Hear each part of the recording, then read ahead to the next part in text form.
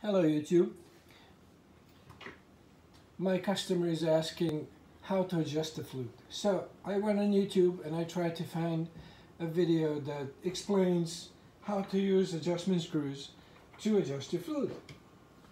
But apparently there is not a single one that like is simple and like clear that you can actually see and understand what to do.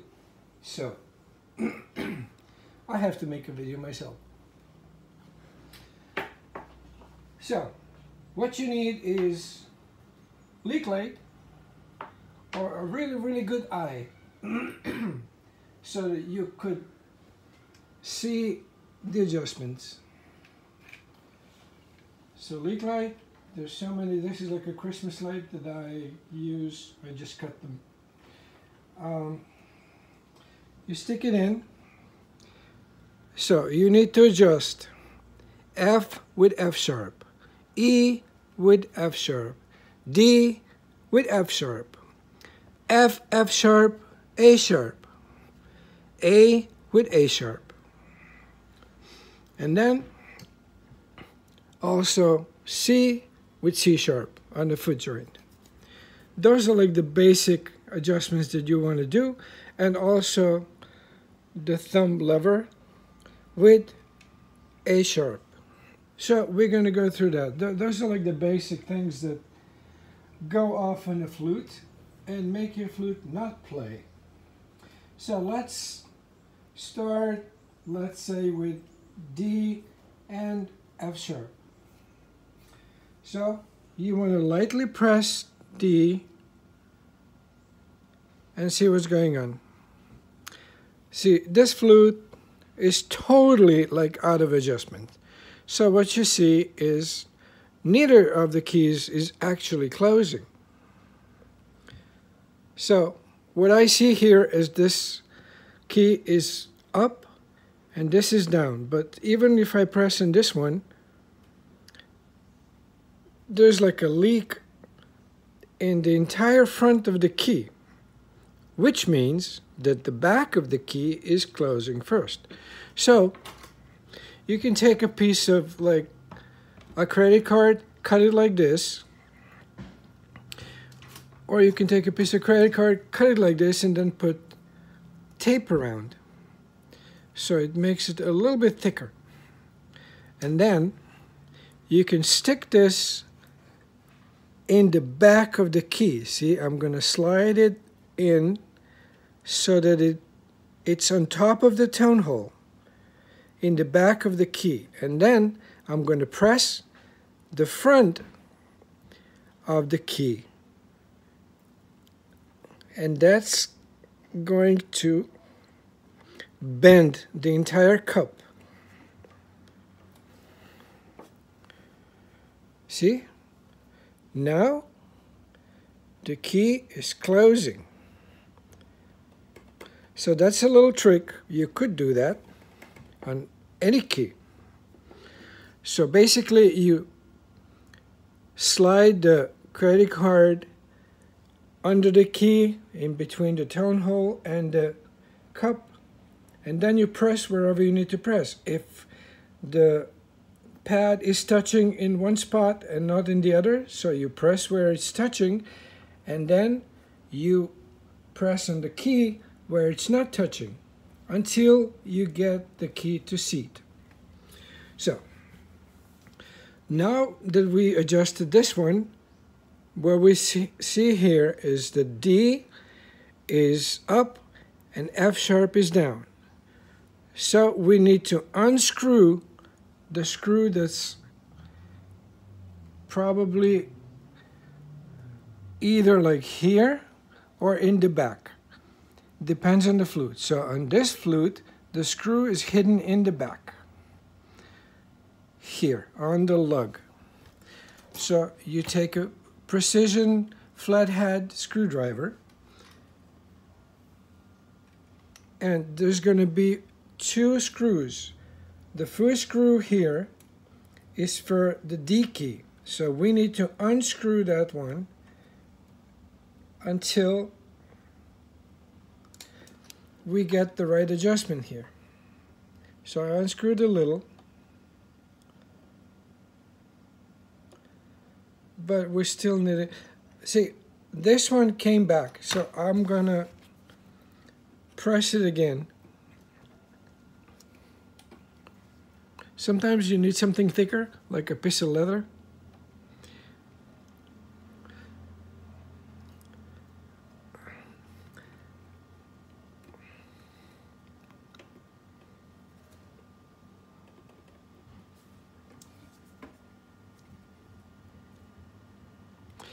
I mean, this flute is not even padded.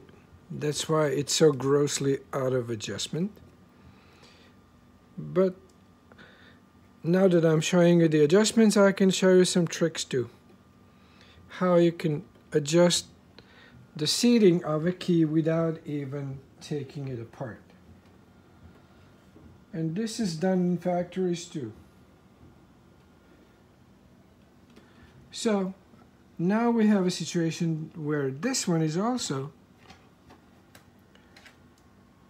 touching in the back and not in the front.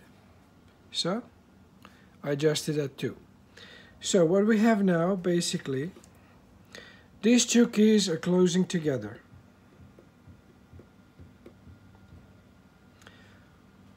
I could work more on it, you know, I see more leaks, but anyway, you know what to do basically these two keys need to close exactly together. Also, when you press these down, you press E and F down, and then you press D down. You have to check if D is closing, because sometimes D will, clo will close with F sharp, but when E and F are down, it may not. So in this case, actually it's not. So I have to unscrew a little more. But the problem here is actually that it's heavy in the back. We call it heavy in the back, means it's touching in the back and not in front. So I'm going to unscrew just a little bit so that the D is closing also when E and F are down. See? Normally what happens is like when you press like this, it's fine. Or it's even closing before F sharp. But when this, when F and D, E are down, then D is late with F sharp. So that's a common problem. Flute is not a perfect instrument, and especially a student flute is not perfect. So you have to make a compromise. You have if you have to make a compromise where D is not the same when these two are down with F sharp, then you have to do something in the middle. So it's basically better that F sharp is a little late with D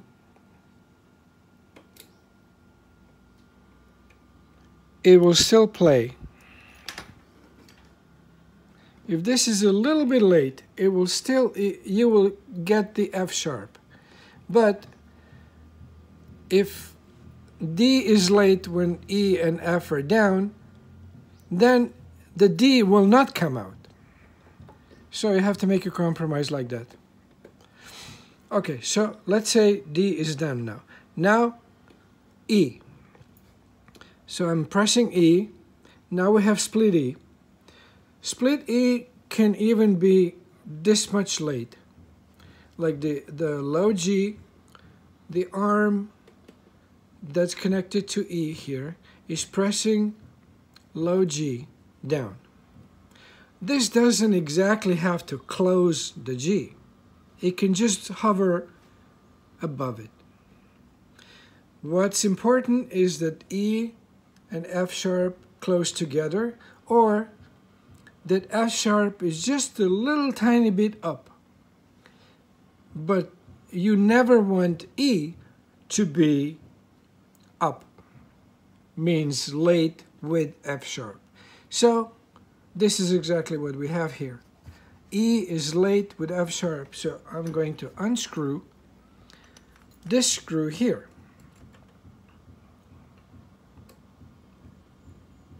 A little bit.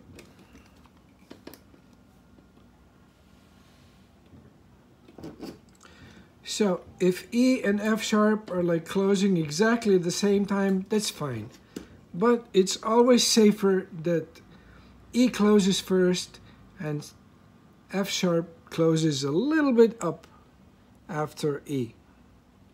That's safer because this connection you only need for the trill,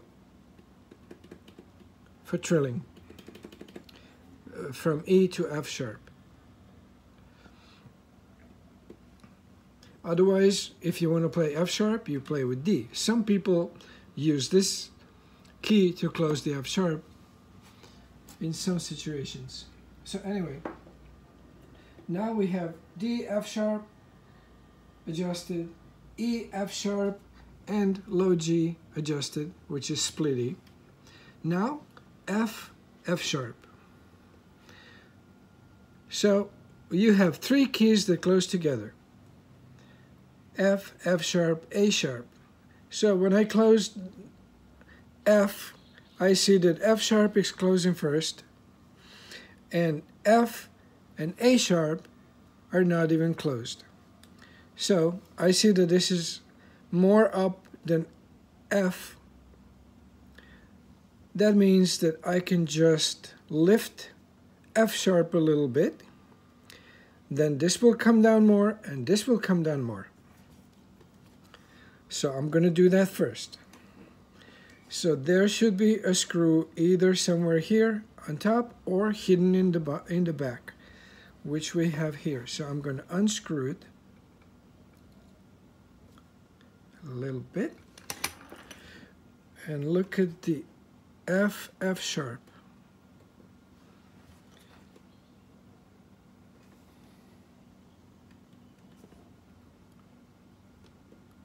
So this closes fairly together. Now this is a little late.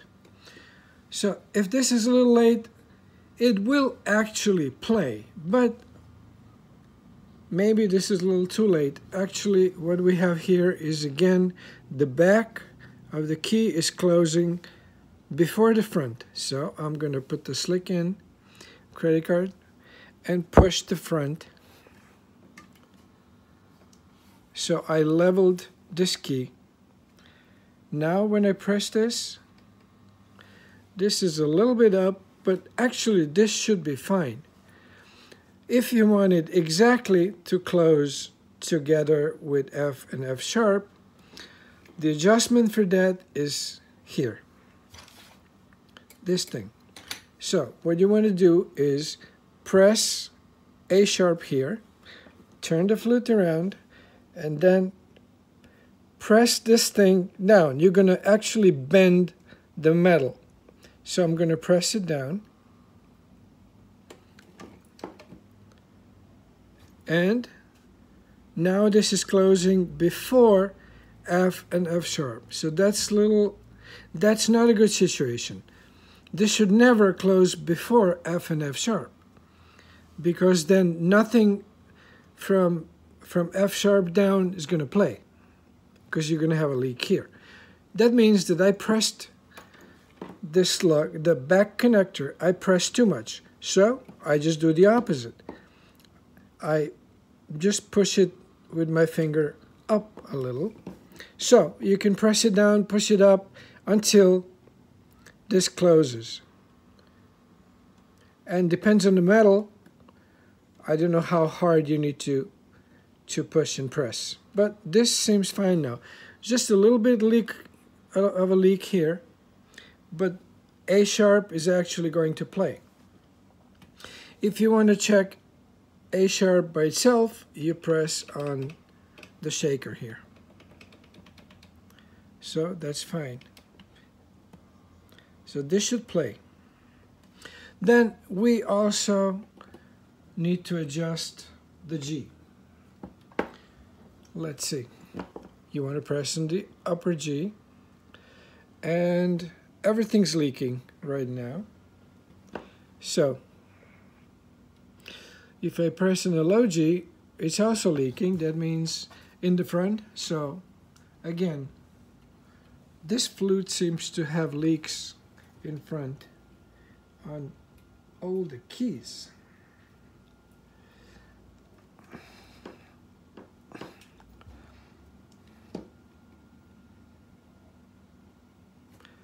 So this one too. No, this one is fine. Okay, so the upper G is closing after the lower G.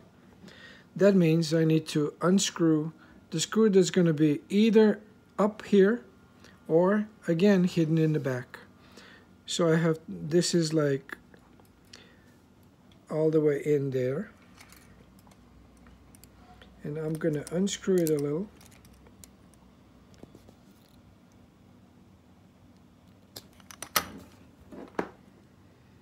So, it seems fine now.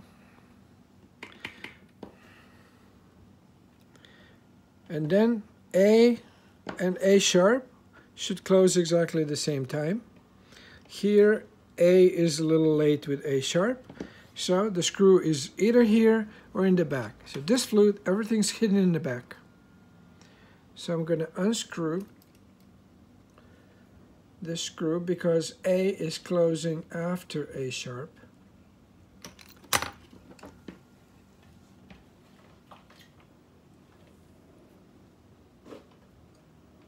So now this is fine too. So we got everything connected on the main line. This is called the main line. Now you want to check the thumb with A sharp and this is just fine. So if this is closing before the thumb, that means that this kicker, it's called the kicker, whatever you have in between, there, you know, they have See, Chinese flutes, they have felt. So you can't really do anything. It's synthetic felt. You can't really do anything about it. You have to move the metal up or down. Or you can also like, but this is more like a trick. You adjust this felt here. So maybe it's missing something. You can add stuff to it like a piece of paper. Or if it's too thick, you can try to sand it down or you can work on a kicker. So anyway, that's how you adjust that. There's no screw. Similarly, there is no screw for the foot joint.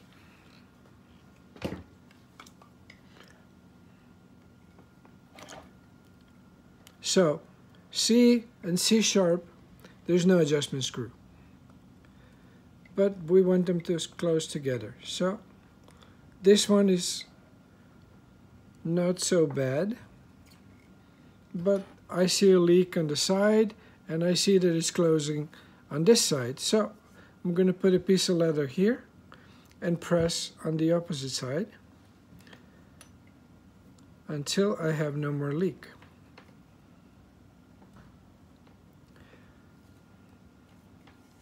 So there's no more leak here. And there's still no, no leak here. Just a little bit, but that's from pressing. So the pad's going to come back. I press the pad and it's going to come back a little bit.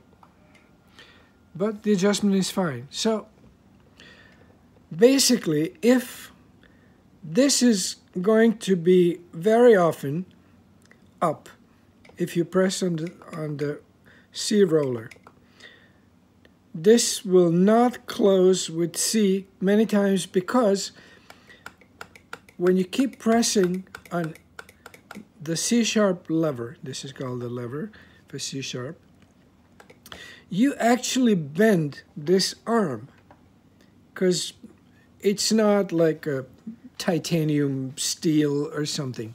It's just uh, copper nickel or silver is like even softer unless you have a Powell, and Powell has this key made out of white gold even on silver flutes just to make it harder so that you don't bend this lever and get it out of adjustment. But if you do, and I guarantee you will. So, see, I'm going to press on this and make it out of the, out of the adjustment to demonstrate. See, that's what I did. What I did, I pressed on this, and now this is out of adjustment.